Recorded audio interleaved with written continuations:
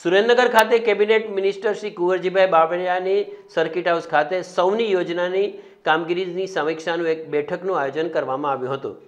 ત્યારે આ બેઠકમાં ખેડૂતોને સંબોધન કરતા કેબિનેટ મિનિસ્ટર શ્રી કુંવરજીભાઈ બાવળિયાએ એમ જણાવ્યું હતું કે દાયકાઓ અગાઉ સૌરાષ્ટ્રની ફળદ્રુપ ખેતી માટે મોટે ભાગે વરસાદ આધારિત હતી અને ઘણી વખત પાણીની તંગીની દુકાળ વેઠવાનો પણ વારો આવતો, પરંતુ આજે રાજ્યના મુખ્યમંત્રી શ્રી ભૂપેન્દ્રભાઈ પટેલના દીર્ઘ દ્રષ્ટિપૂર્ણ આયોજન થકી આજે સૌરાષ્ટ્ર પ્રાંત જળ સમૃદ્ધ બન્યો છે.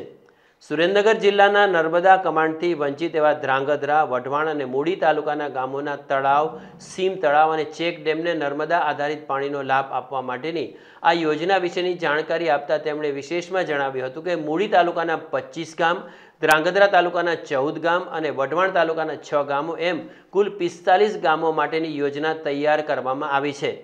અને આ યોજનાથી પિસ્તાલીસ ગામોના તળાવને પાઇપલાઇનથી સાંકળીને નર્મદાના પાણીનો લાભ આપવામાં આવશે.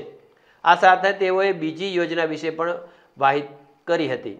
ત્યારે આ બેઠકમાં ધ્રાંગધ્રાના ધારાસભ્ય શ્રી પ્રકાશભાઈ વરમોરા, ચોટીલાના ધારાસભ્ય શ્રી શામજીભાઈ ચૌહાણ, અગ્રણી સર્વશ્રી ધીરુભાઈ સિંધવ, જયેશભાઈ પટેલ, નાગરભાઈ બ્રિજરાજસિંહ, મુકેશભાઈ વઢવાણના પ્રાંત અધિકારી બ્રિજેશ કાલરિયા અને સંબંધિત વિભાગના અધિકારીઓ, પદાધિકારીઓ સહિત મોટી સંખ્યામાં ખેડૂતો અને ગ્રામજનો પણ ઉપસ્થિત રહ્યા હતા.